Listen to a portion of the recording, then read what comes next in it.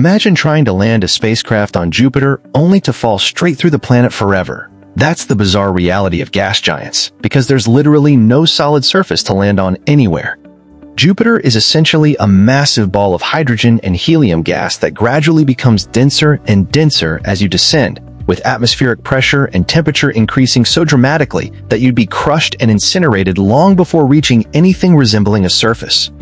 As your spacecraft plunged through the colorful cloud tops made of ammonia crystals, the pressure would quickly reach one atmosphere like Earth's sea level, but you'd keep falling through increasingly thick gaseous layers, where temperatures soar past thousand degrees Celsius and pressure climbs to millions of times Earth's atmospheric pressure. Eventually, around 20,000 kilometers down, the hydrogen gas becomes so compressed by Jupiter's immense gravity that it transitions into a bizarre state called metallic hydrogen, a liquid conductor that behaves more like mercury than normal hydrogen, generating Jupiter's powerful magnetic field.